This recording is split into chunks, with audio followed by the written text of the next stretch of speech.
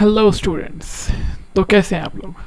चलिए, हम शुरू करते हैं हमारा इलेक्ट्रिक फ़ील्ड का सेशन आज के सेशन में मैं एक्चुअली आपको इस बोर्ड पे पढ़ाने वाला हूँ, यहाँ पर, क्योंकि जो हम आज कॉन्सेप्ट देखने वाले हैं या न्यूमेरिकल देखने वाले हैं, उसके लिए हमारे लिए ये सूटेबल है कि हम डायरेक्टली यहाँ देखें इसके अंदर, क्योंकि जूम लेवल भी अच्छा होता है और क्लैरिटी में अंडरस्टैंडिंग होती है। अब तक हमने जो देखा वो ये था कि electric field due to uniformly charge ring एक रिंग है जो यूनिफॉर्मली चार्ज है तो उसकी वैल्यू कितनी आई थी? Electric field is equal to K Q X upon X square plus A square का power three by two what is X X is the distance of point on its axis ठीक है? यहाँ पे एक ring था और ring का जो एक्सिस होता है एक्सिस पे डिस्टेंस एक्स और A is the radius of the ring ठीक है? यहाँ पे हमने रेडियस लिया था, इस तरह से हमने डायग्राम्स बनाई थी उसकी। Electric field due to line charge distribution और इन्फाइनेट रॉड अगर होती है, जिसके अंदर में लाइन चार्ज डिस्ट्रीब्यूशन हम लेते हैं इन्फाइनेट रॉड होती है पूरी ऐसी, उससे इलेक्ट्रिक फ़ील्ड हमको दो मिलते हैं, एक परपेंडिकुलर एक पैरल तो perpendicular to rod K lambda by R R is the distance of point from the line charge K lambda by R sine of alpha plus sine of beta alpha और beta कैसे लेते हैं? Alpha ऊपर की तरफ़ और beta नीचे की तरफ़। ठीक है? ऐसा लेते हैं। और हमने पॉजिटिव नेगेटिव लेके ही ये फॉर्मूला बनाया है, इसीलिए हम डायरेक्ट अब एंगल्स मेजर करते हैं उसके। पैरेलल इलेक्ट्रिक फ़ील्ड मतलब कि जो हमारी जो रॉड है, उसको पैरेलल इलेक्ट्रिक फ़ील्ड एक कंपोनेंट ऐसे, एक कंपोनेंट ऐसे। तो parallel electric field K lambda by R cos of beta minus cos of alpha and lastly due to arc एक ऐसा आर्क लिया था हमने, देखो। ये रिंग का ही एक पार्ट था ये। आर्क ऐसे लिया था और उससे हमने इलेक्ट्रिक फ़ील्ड बनाई थी वो बनी थी two K lambda by R sine of theta by two ठीक है? ये वाली वैल्यू बनी थी। यानी के लैमडा बाय आर तो यही वाला था इसमें से। और ये जो साइन अल्फ़ा था तो ये वाला दो बार आया था। Sine theta by two sine theta by two ठीक है? इस तरह से आ गया था। और फिर हम क्या लेंगे यहाँ पे? Due to finite rod finite rod ये रॉड का ही एक सेक्शन है, जिसके अंदर में क्या lambda? Sine of alpha plus sine of beta जो था, इसके अंदर में एक एंगल जो है वो 90 हो जाता है और एक एंगल ज़ीरो हो जाता है। तो एक angle 90 plus sine 90 is one और साइन ज़ीरो इज़ ज़ीरो तो यहाँ पे वन आ जाता है के लैमडा बाय आर ये ओनली होता है। तो इतने आपको वैल्यूज़ याद होने चाहिए। अगर ये याद है तो हम आगे जा सकते हैं। और आगे क्योंकि अब हम जो पढ़ेंगे, उसके अंदर हम इंटीग्रेशन भी करने वाले हैं और हम जो है तो डिस्क की इलेक्ट्रिक फ़ील्ड निकालने वाले हैं किसी पॉइंट पर। तो चलिए देखते हैं उसको, ध्यान से देखते हैं ये पॉइंट को।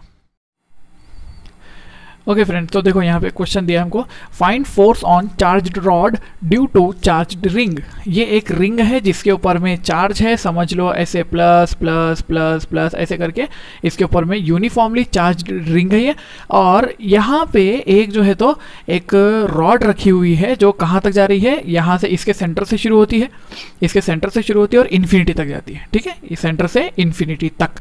ये इंपॉर्टेंट पॉइंट है यहाँ पे कि सेंटर से इन्फिनिटी तक जाने वाली रॉड है। तो हम हमको क्या है, अब रॉड के बारे में दे दिया है कि लैमडा इज़ चार्ज डेंसिटी काय पे? रॉड पे। रॉड भी चार्ज है और ये भी चार्ज है, यानी कि दोनों एक दूसरे पे फोर्स लगाने वाले हैं। ठीक है तो मैं ऐसा लिख सकता हूँ ना कि मेरे पास में फोर्स का फॉर्मूला होता है। What is force is equal to force is equal to electric field into charge है ना? इलेक्ट्रिक फ़ील्ड इनटू चार्ज ऐसा होता है ये फॉर्मूला है अपने पास में। यानी कि फोर्स का फॉर्मूला तो ये कूलम फोर्स है ना ये? इलेक्ट्रिक फ़ील्ड इनटू चार्ज ठीक है? इस तरह से। इसकी वैल्यू क्या होती है? इलेक्ट्रिक फ़ील्ड की one upon four pi epsilon zero Q upon R square और ये क्यों आ जाता है? तो फोर का फॉर्मूला तो वही बन गया ना कूलम्स वाला। One upon four pi epsilon zero या फिर K Q Q upon R square एक ही बात हो गई। ये कैपिटल क्यू आ जाएगा और ये छोटू क्यू इस पर आ जाएगा। लेकिन अब प्रॉब्लम ये है कि यहाँ पे सिंगल चार्ज नहीं है। एक सिंगल चार्ज इधर छोटा क्यू होता, इधर कैपिटल क्यू होता तो बहुत ही आसान था ये तो। लेकिन अब यहाँ पे सिंगल चार्ज नहीं है तो हम क्या करेंगे? इस लैमडा कूलम पर मीटर ये इसकी चार्ज डेंसिटी है तो मैं क्या करता हूँ, इससे यहाँ से एक दूरी पर, कितनी दूरी पर? समझ लेते हैं एक्स दूरी पर, हम ऐसा मान लेते हैं कि एक छोटा सा एलिमेंट ऑफ़ चार्ज ठीक है, ध्यान से समझो अब बात को। ये एक एलिमेंट है। एलिमेंट ऑफ़ लेंथ इसको बोलते हैं हम, और एलिमेंट ऑफ़ लेंथ कितना है ये? ये है डी एक्स ठीक है एलिमेंट ऑफ़ लेंथ है डी एक्स और dx पर चार्ज कितना होगा? तो मैं dx पे का चार्ज लिखता हूँ। इस पे का चार्ज होगा dq, है ना? dq चार्ज होगा। तो मैं अगर dq की वैल्यू लिखूँ तो यहाँ पे आ जाएगा। dq इज़ इक्वल्स टू क्या होता है? देखो चार्ज इज़ इक्वल्स टू क्या होता है? Charge density into length. तो चार्ज डेंसिटी कितनी आ जाएगी? लैमडा इंटू लेंथ कितना आ जाएगा? डी एक्स अब ये बार बार बताने की ज़रूरत नहीं, क्योंकि ये आपको आता है, ये कैसे निकालते हैं बोल के तो। ठीक है तो ये अपने पास में केस हो गया, अपने पास में कि डी की वैल्यू अपने को मिल गई है। अब यहाँ पे अगर डी एक चार्ज मिल गया तो पूरे रिंग की वजह से इस पर जो चार्ज है हम इसके ऊपर जो फोर्स लग रहा है, वो छोटा सा फोर्स निकाल लेंगे। फिर इस रिंग की वजह से यहाँ पे लगने वाला फोर्स यहाँ पे लगने वाला फोर्स यहाँ लगने वाला फोर्स यहाँ लगने वाला फोर्स यहाँ लगने वाला फोर्स यानी हर छोटे छोटे एलिमेंट के ऊपर में इस रिंग का लगने वाला फोर्स हम निकालेंगे। और जब वो फोर्स हमारे को मिल जाएगा तो हम क्या करेंगे? सब की डायरेक्शन देखेंगे। तो हमको दिखेगा कि भाई ये फोर्स किधर डायरेक्शन में, इस डायरेक्शन में। अगर, क्योंकि ये सारे चार्जेस इसके एक्सिस पे है ना। ठीक है, ये सारे चार्जेस हमारे रिंग वाले एक्सिस पे है। तो सबका डायरेक्शन कैसा होगा फोर्स का? इधर ही होगा तो हम उसको कर देंगे इंटीग्रेट मतलब हमारे को अगर टोटल एफ़ निकालना है तो टोटल एफ़ बोले तो हमारा हो जाएगा integration of D F D F कहाँ से कहाँ तक? ज़ीरो से लेकर इन्फिनिटी तक, ठीक है? ज़ीरो से इन्फिनिटी तक, ये ऐसा करना पड़ेगा। अच्छा डी एफ़ की वैल्यू क्या है? तो मैं ऐसे लिखता हूँ D F is equal to सबसे पहले हमको लिखना पड़ेगा D F is equal to यहाँ से लगने वाला force force is equal to electric field into charge होता है तो मैं ऐसे लिखूँ, यहाँ पे इलेक्ट्रिक फ़ील्ड डी ई और डी ई का यहाँ पे कॉस्थीटा कंपोनेंट आता है, आपको मालूम है इसकी वैल्यू अपने को मालूम है, ठीक है ना? तो यहाँ पे लिख देंगे ये electric field into charge into charge बोले तो कितना? डी क्यू होगा। तो अगर मैं डी एफ़ को लिखूँ तो डी एफ़ यहाँ पे ऐसे आएगा ना? D F is equal to D E की वैल्यू इधर में इलेक्ट्रिक फ़ील्ड मैं उसको इलेक्ट्रिक फ़ील्ड लिखता हूँ, छोटी इलेक्ट्रिक फ़ील्ड नहीं हो सॉरी ये छोटी इलेक्ट्रिक फ़ील्ड नहीं है बेटा, ऐसा सॉरी, इसको फिर से लेना पड़ेगा। इलेक्ट्रिक फ़ील्ड है वो इलेक्ट्रिक फ़ील्ड है। इसकी वजह से टोटल इलेक्ट्रिक फ़ील्ड यहाँ पे। दो इलेक्ट्रिक फ़ील्ड थे ना, दोनों का रिजल्टेंट तो यहाँ पे क्या आ जाएगा? Electric field along the axis क्योंकि वर्टिकल वाली तो कैंसिल हो गई। अलॉन्ग दी एक्सिस वाली, सिर्फ़ कॉस्थीटा कंपोनेंट है, उसका इंटीग्रेशन करके जो अपने पास में वैल्यू आती है, कितनी आती है? के क्यू ये charge Q into X upon X का स्क्वायर प्लस ए का स्क्वायर का पावर थ्री बाय टू ये रेडियस है ए वाला, ठीक है? ये ले लिया मैंने इन टू ये हो गया electric field into charge D Q D Q की वैल्यू कितनी है? डी क्यू की value lambda D X lambda D X रख दिया। ये हो गया मेरे पास में फोर्स छोटा सा फोर्स तो मैंने क्या किया अभी कि एक छोटा सा फोर्स निकाला। अब ये फोर्स को मेरे को निकालना पड़ेगा टोटल अनंत तक, यहाँ से लेकर इन्फिनिटी तक, पूरा निकालना पड़ेगा। तो पूरा निकालने के लिए हम क्या करेंगे? इसकी इंटीग्रेशन करना चाहेंगे। अब देखो इंटीग्रेशन का यहाँ पे एक फंडा सिखाता हूँ आपको। क्योंकि यहाँ पे देखो किसका हो रहा है? इंटीग्रेशन एक्स डी एक्स का इंटीग्रेशन हो रहा है। तो मैं ऐसे लिखूँगा कि एफ़ की वैल्यू आने वाली है इंटीग्रेशन ऑफ़ के क्यू लैमडा अपॉन एक्स का स्क्वायर प्लस ए का स्क्वायर का power three by two into x d x और इंटीग्रेशन हो रहा है ज़ीरो से लेकर इन्फिनिटी तक। अब ये प्रॉब्लम हमारा ये है कि अगर एक्स डी एक्स का इंटीग्रेशन निकालना, वो तो निकल जाता है, वो तो आसान है, लेकिन डिनोमीटर में ये भी तो है। इसका इंटीग्रेशन निकालना थोड़ा सा कठिन होता है, ठीक है? तो हम क्या करते हैं, एक न्यू मेथड सीखते हैं यहाँ पर। एक मेथड क्या होता है, देखो इंटीग्रेशन का एक मेथड होता है। अगर आपको याद हो कि ना याद हो और जिसको नहीं आता है इंटीग्रेशन का मेथड मैं बता देता हूँ। क्या करना है? ये जो डिनोमिनेटर आपको दिख रहा है ना, इसको let X square plus A का स्क्वायर इसको मान लेना है कि टी का स्क्वायर है। ठीक है? इसको मान लो, थोड़ी देर के लिए मान लो। ये है सब्सटीट्यूशन इसको सब्सटीट्यूशन इंटीग्रेशन बोलते हैं, ठीक है? थीके? तो ये अपने नाम दिया, इसको ऐसा भारी नाम नहीं उसका इतना भारी। Square plus A square is equal to T square आपने इसकी वैल्यू को टी स्क्वायर माना। अच्छा अगर इसकी वैल्यू का आपने टी स्क्वायर माना तो यहाँ पे तो हमारे पास बहुत आसानी हो जाएगी ना अभी। लेकिन प्रॉब्लम अब ये होगा कि अगर हमने इसको इसको टी स्क्वायर मान लिया तो हमारे को ये जो वैल्यूज़ है लिमिट्स ज़ीरो टू इन्फिनिटी ये किसकी लिमिट है? एक्स की लिमिट है। एक्स की वैल्यू मिनिमम ज़ीरो है। एक्स की वैल्यू मैक्सिमम इन्फिनिटी है। तो हम उसको टी के ऊपर में लगा नहीं पाएँगे। और एक्स डी एक्स की जगह पे क्या पुट करेंगे? तो हम क्या करते हैं? इसका इसका डेरिवेटिव लेते हैं। हम इसको बोलते हैं डिफ्रेंशिएट डिफ्रेंशिएट करो इसको। तो डिफ्रेंशिएट करेंगे तो देखो ए जो है, ये कांस्टेंट है ना? A is constant A constant constant का डेरिवेटिव क्या होता है? ज़ीरो होता है। तो डेरिवेटिव सिर्फ़ इसका निकलेगा। क्या निकलेगा? Two X into D X है ना? Two X into D X इसका इंटीग्रेशन इज़ इक्वल टू इसका इंटीग्रेशन निकलेगा two T into D T ऐसा, बस, हमको ये चाहिए था। तो two T into D T ये इंटीग्रेशन आ गया किसकी जगह पे आ गया? इधर से टू टू गेट्स कैंसिल हो गया तो यहाँ पे बचा एक्स डी एक्स इसकी जगह पे आप पुट कर सकते हो टी इंटू डी टी अब देखो, ऊपर टी डी टी आ जाएगा, नीचे टी का स्क्वायर आ जाएगा। मैंने ये पूरे टर्म को, पूरे दो टर्म थे ना हटाने के लिए मैंने ये सब कुछ किया। तो अब देखो, अपना इंटीग्रेशन कैसे हो जाता है? अब ईजी हो जाता है। अब क्या करेंगे हम? एफ़ की वैल्यू को लिखेंगे पेन चलेगा तो और यहाँ पे लिखेंगे K Q lambda integration of zero से अच्छा नहीं, अभी लिमिट नहीं बोल सकते क्योंकि टी की लिमिट बदल जाएँगी अभी। तो मैं इसको लिखता हूँ इंटीग्रेशन ऑफ़ क्या हो जाएगा? एक्स डी एक्स की जगह कौन आने वाला है? तो मैं लिखूँगा टी डी टी आने वाला है। और नीचे देखो, ये पूरा टी का स्क्वायर है। तो टी का स्क्वायर और उसका पावर कितना? थ्री बाई टू अगर आपको ये पॉइंट समझ में नहीं आएँगे ना तो इसको रिपीट करके देखना है वीडियो को, लेकिन ये बहुत इंपॉर्टेंट है ये चीज़। बहुत आसान हो जाता है यहाँ से देखो। के क्यू लैमडा इंटीग्रेशन ऑफ़ ये देखो टी स्क्वायर है तो ये बन जाएगा टी डी टी अपॉन एक एक स्टेप में बड़ा बड़ा के लिखते जा रहा हूँ। ये टू से टू कैंसिल हो गया तो बचा नीचे टी का क्यूब और ये टी से ये कैंसिल हो गया तो नीचे कितना बचा? नीचे आपके पास में सिर्फ़ टी स्क्वायर बचा है। तो यहाँ से हो जाएगा F is equal to integration of D T upon T का स्क्वायर ठीक है? अब लिमिट्स कहाँ से कहाँ तक? ये इंपॉर्टेंट है। तो हम यहाँ पे लिखेंगे इसके लिमिट्स देखो ज़रा। लिमिट्स कहाँ से होगी? तो मैं लिखता हूँ कि अगर, देखो, x की लिमिट कहाँ से कहाँ तक थी? ज़ीरो से इन्फिनिटी तक थी। तो जब x की वैल्यू ज़ीरो होगी तो देखो, इस इक्वेशन को बोलेंगे अपन इक्वेशन वन सब्सटीट्यूशन की इक्वेशन तो मैं बोलूँगा put x equal to zero in equation one equation one में x की वैल्यू ज़ीरो रखो। तो इसकी वैल्यू ज़ीरो हो गई तो वैल्यू क्या हो जाएगी देखो? टी स्क्वायर की वैल्यू हो जाएगी आपकी। टी की वैल्यू ए के बराबर। कितनी हो जाएगी? ए के बराबर हो जाएगी। अच्छा और पुट अगर मैंने किया, x इक्वल टू इन्फिनिटी तो अगर x इक्वल टू इन्फिनिटी कर दिया मैंने तो इन्फिनिटी में कुछ भी मिला हो तो t की वैल्यू कितनी हो जाएगी?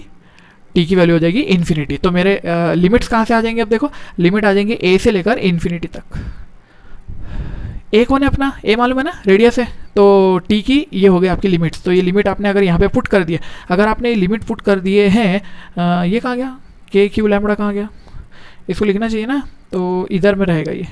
के क्यू लैमडा रहे वो, ठीक है। तो यहाँ पे हमारा एफ़ का वैल्यू क्या हो जाएगा? के क्यू लैमडा और integration of T square T square ऊपर जाके क्या बनता? है टी का पावर माइनस टू बनता। है उसका इंटीग्रेशन क्या होता है? टी का पावर माइनस टू का इंटीग्रेशन होता है टी का power minus two plus one और divided by minus two plus one है ना पावर से। और कहाँ से कहाँ तक?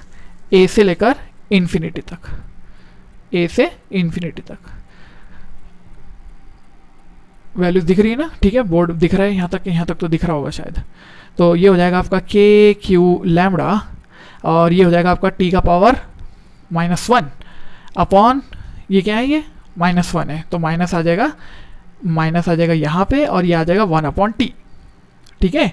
और ए से लेकर इन्फिनिटी तक। चलो वैल्यूज़ पुट करते हैं इसके अंदर तो के क्यू लैमडा ये आ जाएगा आपके पास में minus one upon infinity minus और ये वाला minus minus gets plus one upon A ठीक है? तो वैल्यू क्या बन गई आपकी?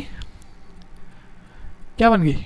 ये तो ज़ीरो हो जाएगा ना पूरा टर्म ये तो पूरा टर्म ज़ीरो है माइनस वाला, ये सिर्फ़ प्लस वाला टर्म बचेगा तो के क्यू लैमडा अपॉन ए ये है हमारा टोटल फोर्स ठीक है? इसको फोर्स बोलते हैं। अगर आप देखेंगे कि ये फोर्स निकला है, अगर ए के जगह पे आर अगर रेडियस होता ए जो है मेरा, ये रेडियस है। अगर मेरा रेडियस आर होता तो K Q lambda by R equation अंदर आता था। इक्वेशन हमारे पास में ये आंसर होता था। क्या ये बात आपको समझ में आई? अगर नहीं समझे तो वापस से फिर से देखो इसको। हमने यहाँ पर क्या किया कि इस रिंग की वजह से यहाँ पर लगने वाला एक फोर्स निकाला पहले, और फोर्स निकलता है इलेक्ट्रिक फ़ील्ड इंटू चार्ज करने से। तो यहाँ का चार्ज हमने डी क्यू वैल्यू लिखा था हमने, उसको डी निकाला, और डी का फिर इंटीग्रेशन लिया। अब इंटीग्रेशन लेने के लिए डिनोमीटर हमारा थोड़ा सा कठिन था। हमने डिनोमीटर को थोड़ा सा आसान किया कि सब्सटीट्यूशन किया टी स्क्वायर का और उसका डेरिवेटिव लेके एक्स डी एक्स की जगह टी डी टी रखा।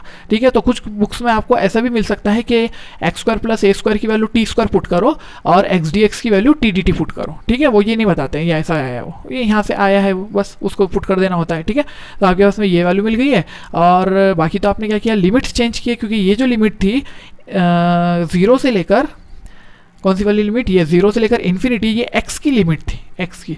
अब आप जब टी डी टी रखोगे तो इसकी लिमिट चेंज हो जाएँगी। इसकी लिमिट्स चेंज होंगी और वो लिमिट्स क्या हो जाएँगी? ए से लेकर इन्फिनिटी तक। हमने कैसे पुट किया वो? इक्वेशन वन के अंदर आपने वैल्यूज़ रखी थी। इक्वेशन वन में वैल्यूज़ रख के आपने निकाला। एक्स की वैल्यू को ज़ीरो किया आपने, क्योंकि मिनिमम वैल्यू उसकी ज़ीरो होती है। उसकी वैल्यू को ज़ीरो करके T is equals to A निकाला और बाद में इसको इन्फिनिटी किया तो T is equals to infinity value आई। ठीक है? इस तरह से हमने वैल्यूज़ रखे इंटीग्रेशन निकाला और क्वेश्चन खत्म। समझा बात आपको? ठीक है, लिखो। अब देखिए, इसी क्वेश्चन का स्मार्ट मेथड क्या होगा? स्मार्ट मेथड कैसा होता है? देखो, आपको ये पता है कि जितना फोर्स ये रिंग इस रॉड पे लगा रहा है तो एक्शन रिएक्शन पैर ये बोलता है कि ये रिंग भी, ये रॉड भी जो है, इस रिंग पर उतना ही फोर्स लगा रहा होगा, है ना? रिंग जितना रॉड पे लगाएगा, उतना ही रॉड हमारा रिंग पे लगाएगा फोर्स ठीक है? तो अब क्या कर लेते हैं, ये जो रॉड है, इसको हम एक मान लेते हैं, ये सेमी इनफाइनाइट है ना? सेमी इनफाइनाइट रॉड मान लेते हैं इसको, जिसकी charge density lambda coulomb per metre है। ठीक है? ऐसा मान लेते हैं। और ये मान लेंगे कि इसके इस एंड पर, कितनी दूरी पर? ए दूरी पर एक रिंग है। ठीक है? और अब ये रिंग के ऊपर में चार्ज है। हर जगह देखेंगे आप तो टोटल चार्ज कितना है? क्यू है। क्यू क्यू क्यू क्यू यहाँ पे D Q D Q D Q D Q जैसा सब करके क्यू चार्ज है इसके ऊपर में। ठीक है? तो अब अगर मैं ये बोलता हूँ आपको कि ये जो है यूनिफॉर्म लाइन है हमारी लाइन चार्ज है ये। लाइन चार्ज के एक एंड पर इलेक्ट्रिक फ़ील्ड कितनी होती है? इलेक्ट्रिक फ़ील्ड एट एंड जो होती है, वो कितनी होती है?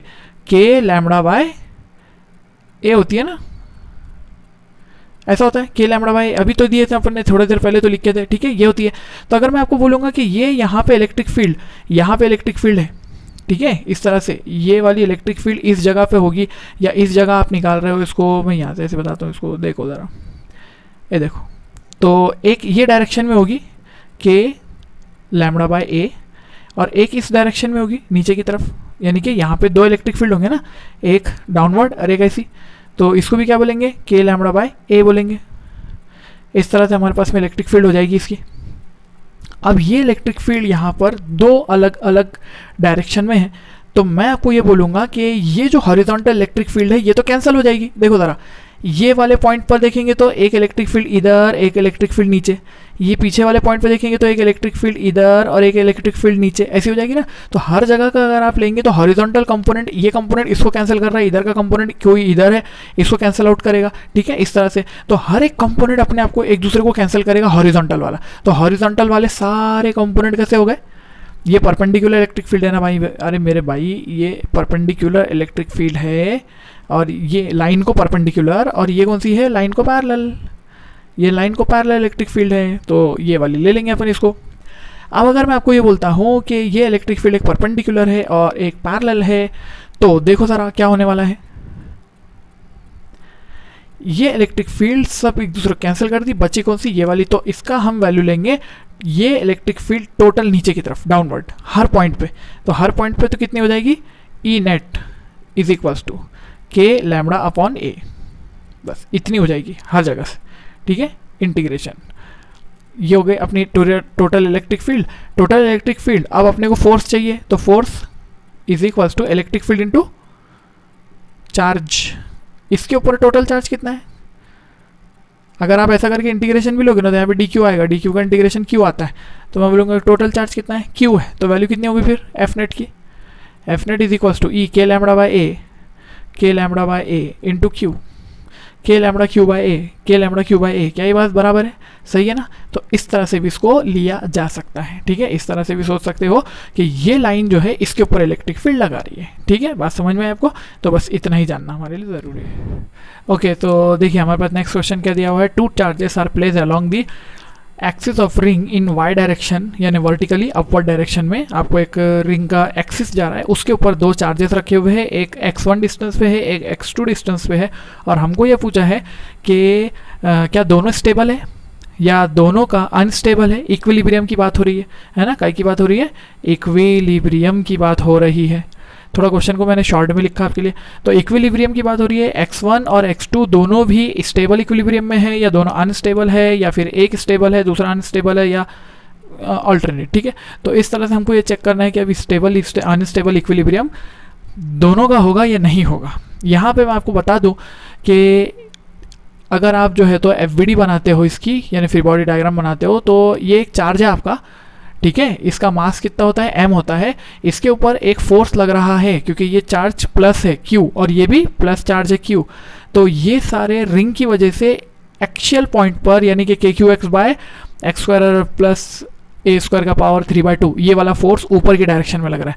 तो इलेक्ट्रिक फ़ील्ड का जो फोर्स लग रहा है force due to electric field ऊपर की डायरेक्शन में लग रहा है। और ये वाला जो अपना चार्ज है, जिसका मास एम है, उसके ऊपर नीचे की तरफ़ एक फोर्स लग रहा है, जिसको हम बोलते हैं, कौन सा वाला फोर्स ग्रेविटी का फोर्स ठीक है? ऐसा हो गया। तो एक इलेक्ट्रिक फोर्स है और एक ग्रेविटी का फोर्स है। ये दोनों फोर्सेस उसके ऊपर में लग रहे हैं। तो अब अपने को पूछा है कि क्या दोनों भी स्टेबल इक्विलिब्रियम में है, कि दोनों भी अनस्टेबल है वगैरह, जो भी है ऑप्शन आपके पास? तो क्या करेंगे? देखो बोला ज़रा। दोनों स्टेबल होंगे क्या? इसके ऊपर भी देखो, एक एफ़ लग रहा होगा नीचे की तरफ़ एम है इस पर भी एफई ऊपर की तरफ़ एम नीचे की तरफ़। तो अगर देखा जाए तो दिख तो रहे हैं कि दोनों इक्विलिब्रियम में आएँगे बोल के। लेकिन इक्विलिब्रियम ऐसा होना चाहिए कि अगर मैंने उसको धक्का दिया आगे जाने के लिए, ऊपर जाने के लिए तो वो ऊपर जाने के बाद में ऊपर नहीं जाना चाहिए, वापस नीचे आना चाहिए। अगर वो वापस नीचे आया तो स्टेबल इक्विलिब्रियम होगा, और अगर वो उसको धक्का देने के बाद ऊपर ही चला गया तो मतलब वो अनस्टेबल इक्विलिब्रियम हो जाएगा। तो देखो ज़रा क्या कर सकते हैं हम। तो हम यहाँ पे देखते हैं कि हमारा जो इलेक्ट्रिक फ़ील्ड का ग्राफ था graph of electric field due to ring ring of charge की वजह से जो हमारे पास में ग्राफ था, वो ग्राफ कैसा था देखो? वो ग्राफ था, ऐसा ना? ऐसा, और नीचे भी था। इधर का पार्ट ले लेते हैं, समझो। इधर का पार्ट अगर ले लेते हैं तो देखो इलेक्ट्रिक फ़ील्ड यहाँ पे ज़ीरो है।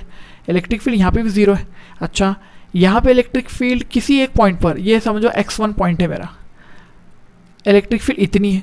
कितनी? ये वाली वैल्यू है इलेक्ट्रिक फ़ील्ड की। क्या इस पॉइंट पे भी इलेक्ट्रिक फ़ील्ड उतनी होगी? सेम होगी ना? ये पॉइंट है हमारा एक्स टू ठीक है? तो ये एक्स वन और एक्स टू ये यहाँ यहाँ है।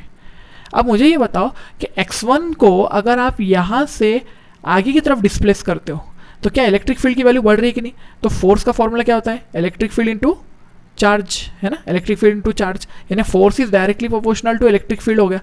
तो अगर देखेंगे आप, ये यहाँ से आप एक्स वन से जब डिस्प्लेस करते हो, आप, मैं ऐसे लिखता हूँ यहाँ पे। इफ़ एक्स वन ऐसे लिखेंगे उसको। If charge on x1 is displaced क्या होगा देखो? इलेक्ट्रिक फ़ील्ड की वैल्यू बढ़ जाएगी। इलेक्ट्रिक फ़ील्ड की वैल्यू बढ़ेगी तो एफ़ विल इंक्रीज यानी फोर्स विल इंक्रीज कौन सा? Electrostatic force electrostatic force will increase increase होगा ये इलेक्ट्रोस्टैटिक फोर्स इंक्रीज हो जाएगा। इलेक्ट्रोस्टैटिक फोर्स इंक्रीज हो जाएगा और क्योंकि आपने उसको यहाँ पे रखे थे, अब यहाँ पे रखे थे तो उसका मास अलग होगा। तो यहाँ पे क्योंकि वो इस पॉइंट पर वो इक्विलिब्रियम में था, इस पॉइंट पर वो इक्विलिब्रियम में था।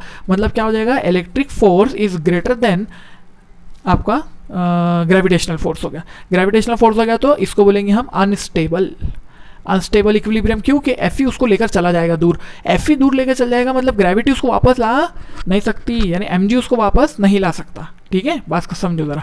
अगर वो इलेक्ट्रिक फ़ील्ड देखो यहाँ से बढ़ जाएगी ना, इतनी हो जाएगी, इतनी हो जाएगी, इतनी हो जाएगी, जो भी हो जाएगी इलेक्ट्रिक फ़ील्ड बढ़ गई तो फोर्स बढ़ जाएगा इलेक्ट्रिक फोर्स इलेक्ट्रिक फोर्स बढ़ गया तो ये फोर्स ग्रेविटी का कम हो गया।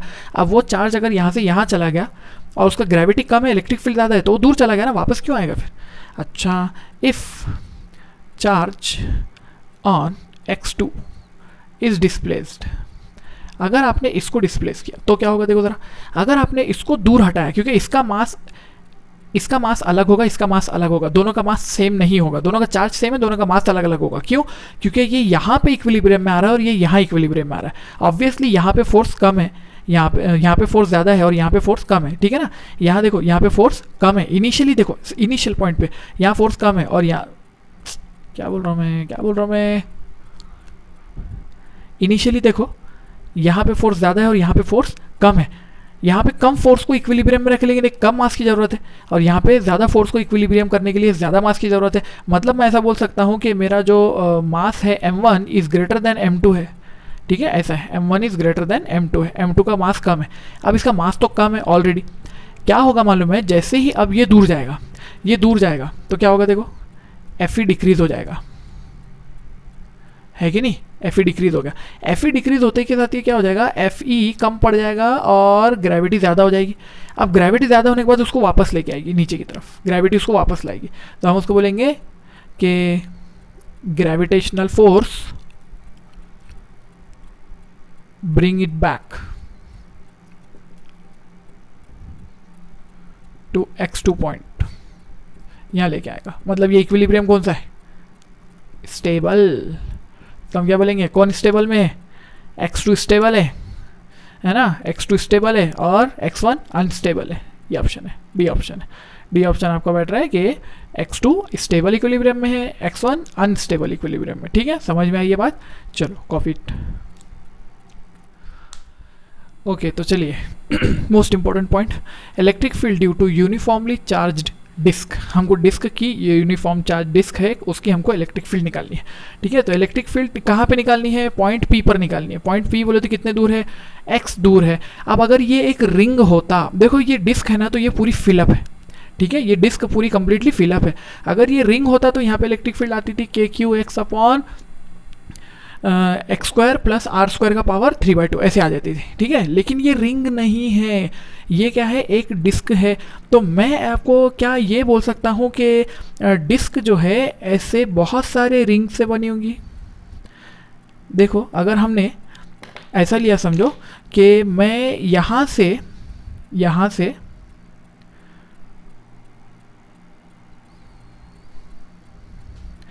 ये रेडियस को कैपिटल आर कर लेते हैं।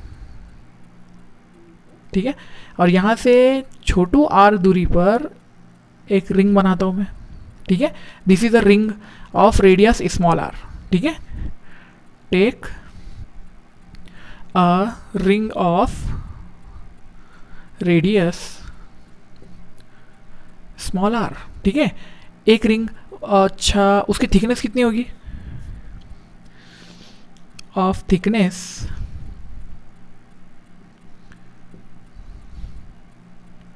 डी आर ठीक है? डी आर उसकी थिकनेस होगी। ये लिखो। यहाँ से अगर मैं इसकी डिस्टेंस इसकी थिकनेस निकालता हूँ तो थिकनेस आती है मेरे पास में डी आर ये थिकनेस आ गई अच्छा अब ये देखो, ये डी आर थिकनेस का जो रिंग है, ये रिंग एक, दो, तीन, चार, ऐसे पूरे ऐसे मिलाते जाएँगे हम, एक रिंग एक रिंग एक रिंग ऐसे जब रिंग्स मिलाएँगे तो पूरा क्या बनेगा हमारा? एक डिस्क बनेगी, ठीक है? एक डिस्क फॉर्म होगी हमारी। तो डी आर थिकनेस के बहुत सारे रिंग हैं हमारे पास।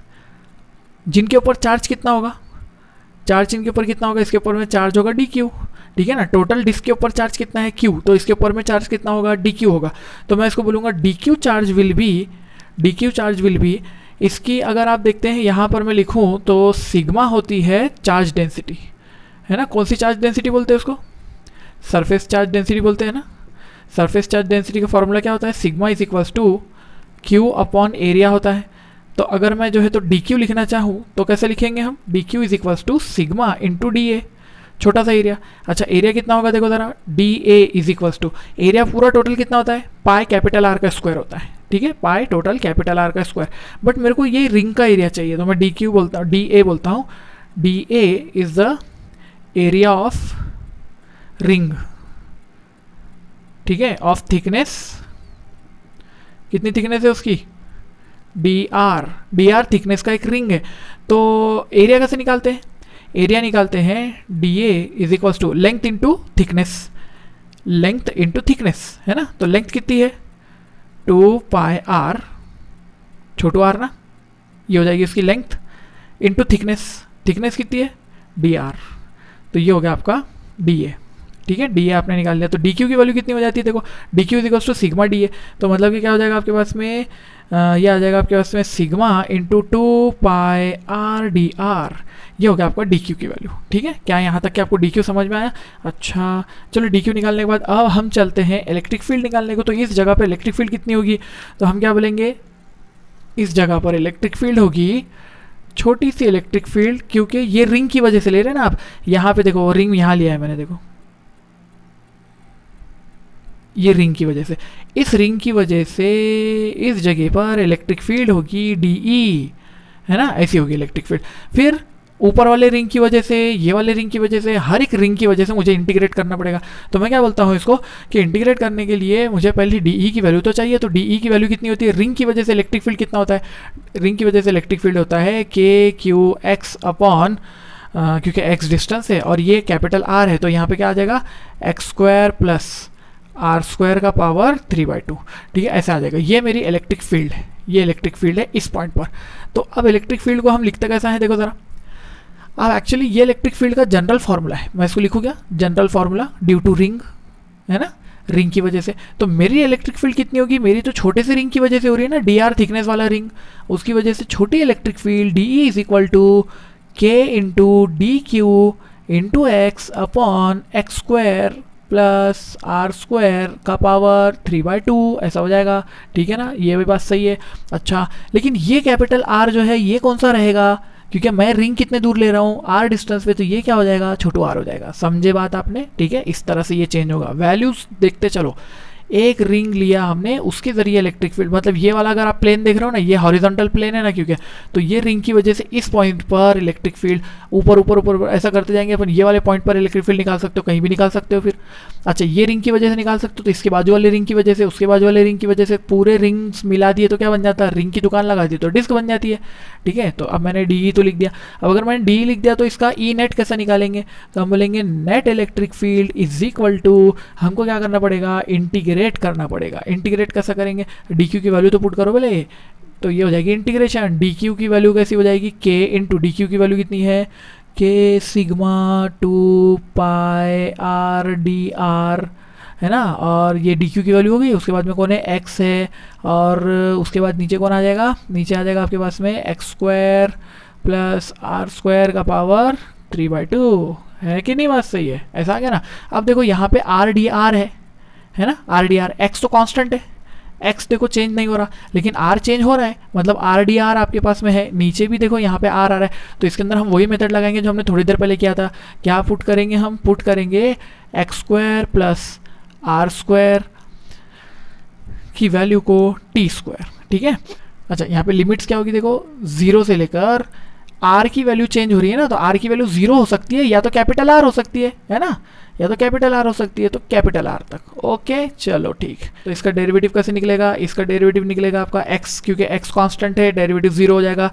आर का डेरिवेटिव क्या निकलेगा? Two R into D R is equal to two T into D T है ना? इंटीग्रेशन निकला। एक्स कॉन्स्टेंट है, याद रखो। एक्स इज़ कॉन्स्टेंट चीज़ों पर ध्यान दो। दो दो कैंसिल हो गया। आर डी आर की जगह पे टी डी टी रखो। अच्छा लिमिट्स निकाल लेते हैं। लिमिट्स ये लिमिट कितनी थी? ज़ीरो से लेकर कैपिटल आर तक थी। अब इसकी लिमिट क्या हो जाएगी? देखो, अगर आप इस इक्वेशन में क्या करते हो? इस इक्वेशन में आप सबसे पहले क्या पुट करोगे? एक्स कांस्टेंट है, उसको छोड़ दो। आर की वैल्यू ज़ीरो पुट करो। तो टी की वैल्यू क्या आ जाएगी? टी की वैल्यू एक्स के बराबर। कब? जब आपने आर को ज़ीरो किया। और टी की value under root of X square plus R का स्क्वायर जब आपने आर की वैल्यू को कैपिटल आर रखा, अरे देखो ज़रा ध्यान से, ये ज़ीरो पुट किया आपने इसके अंदर. तो T square is equals to X square मतलब T is equals to X अच्छा आर पुट किया आपने इसकी जगह पे तो R square plus X square और टी स्क्वायर की वैल्यू है तो रूट निकाल लिया, उसका तो आपने कितना आ गया? ये आ गया. ये लिमिट हो गई. अगर ये लिमिट हो गई है लिमिट के बाद में क्या करोगे? डी ई e से ई e हो जाएगा अब. E net is equal to कौन कौन बाहर? के सिग्मा टू पाए एक्स बाहर के सिग्मा टू पाए एक्स बाहर ठीक है? और इंटीग्रेशन किसका हो रहा है? इंटीग्रेशन हो रहा है एक्स से लेकर तो root of X square plus R square तक किसका इंटीग्रेशन हो रहा है? टी डी टी क्योंकि देखो ऊपर कौन है? आर डी आर बचा था ना? आर डी आर उसकी जगह कौन आया? आर डी आर की जगह टी डी टी आया। T D T upon T का टी का पावर स्क्वायर टी का power two two two gets cancel T का क्यूब है ना? तो ये एक टी इसके साथ में कैंसिल हो गया। अच्छा के की वैल्यू को अगर मैंने ऐसा फुट कर दिया तो वन अपॉन चार पाइप सिलोन ज़ीरो है ना? चार पाइप सिलोन ज़ीरो अगर मैंने ये फुट कर दिया तो मेरे पास में क्या इक्वेशन बचेगी? देखो के की वैल्यू फुट कर दिया वन अपॉन चार पाइप सिलोन ज़ीरो ये टू पाई से नीचे का कैंसिल हो गया तो वैल्यू क्या बचेगी अपने पास? E net is equal to यहाँ से वैल्यू बचेगी अपने पास में sigma X upon two epsilon naught. है कि नहीं बात? ये पूरा। ये पुट करते ही ये बचा अपने पास। और इंटीग्रेशन जब आप लोगे तो इंटीग्रेशन में देखो ये क्या है, ये यहाँ पे टी स्क्वायर बचा है, नीचे। टी स्क्वायर ऊपर जाएगा तो क्या बन जाएगा? टी का पावर माइनस टू। और उसमें एक मिलाना पड़ता है इंटीग्रेशन करने के लिए। और नीचे भी क्या आ जाएगा? Minus two plus one. है कि नहीं? कहाँ से कहाँ तक? वही। एक्स से लेकर तो X square plus R square तक। ठीक है? ऐसी वैल्यू हो गई। तो ये क्या बचा आपके पास में? टी का पावर माइनस वन नीचे जाके बन गया टी तो ये हो जाएगा आपके पास में sigma X upon two epsilon naught one upon T और उसकी लिमिट वही? क्या है ये? पूरा लिखना पड़ता है। ठीक है? ये लिमिट है उसकी। ये लिमिट है। ये लिमिट बार बार पुट करो इसके अंदर में तो क्या वैल्यू हो जाएगी अपने पास में? अपने पास वैल्यू हो जाएगी सिग्मा है ना? Sigma X upon two epsilon naught और अंदर आ जाएगा ये वाली वैल्यू अब यहाँ पे माइनस है ना, ये एक माइनस इधर का, इसका माइनस बचेगा ना, इसका माइनस यहाँ आएगा। तो इसके अंदर में आ जाएगा minus one upon under root of X का स्क्वायर प्लस आर का square minus minus gets plus one by X तो ये हो गया मेरा फाइनल आंसर क्या आंसर निकला मेरा? E is equal to sigma X upon two epsilon zero six X नहीं आए सिक्स एक्स नहीं है, sigma X upon two epsilon naught. और अंदर वैल्यू बचेगी one upon X minus one upon under root of X square plus R का square close. ठीक है, ये वैल्यू बनती है। और अगर आप इससे वैल्यू को निकालना चाहोगे तो एक्स ऊपर जाएगा, वैल्यू कैसे निकलेगी, फिर यहाँ से ये ऊपर जाएगा, इसके साथ ये मल्टीप्लाई होगा। नहीं, वैसे मत करो। अच्छा इसकी फाइनल वैल्यू क्या निकलती है? एक्स अंदर गया तो एक्स एक्स एक्स कैंसिल बचा यहाँ पे एक्स तो E is equal to sigma upon two epsilon naught one minus one upon नहीं X upon X upon under root of X square plus R का स्क्वायर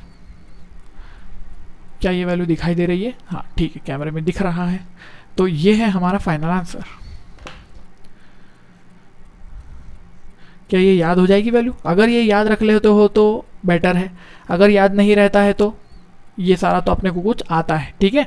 इसको एकदम ध्यान से अगर आप समझते हो तो ये पूरा केस हमारे समझ में आ जाएगा, ठीक है? अच्छा अब यहाँ तक के तो केस आपको समझ में आ गया, इसको लिखना शुरू कर दो आप पॉज करके वीडियो ठीक है? अगर मैं आपको बताऊँ, देखो कि